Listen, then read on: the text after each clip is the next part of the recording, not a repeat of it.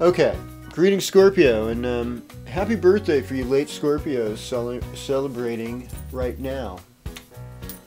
And uh, so I'm going to say happy birthday to my friend Mike ya Chuck and my friend Beth out there on the East Coast over in uh, New Hampshire. Happy birthday to you. And uh, happy birthday to all you late Scorpios out there.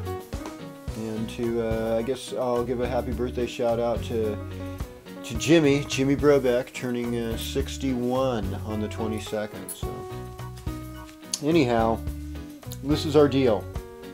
We've got um, Sun, Venus moving out of, um, well, the Sun is moving out of your first house, going into your second house. Venus and Mercury are already there in the second house and the moon along with mars is in your 11th what i'd say is like moon and mars in the 11th is like scorpios you want to go to a football game? This is that's like the perfect combination. Mars and moon in the 11th house. Root root rah rah.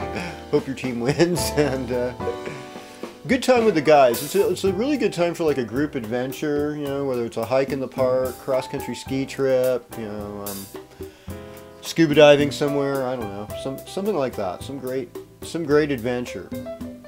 We've got Saturn in your 12th house, so it's a good time to finish up career responsibilities, show that you have a sense of authority.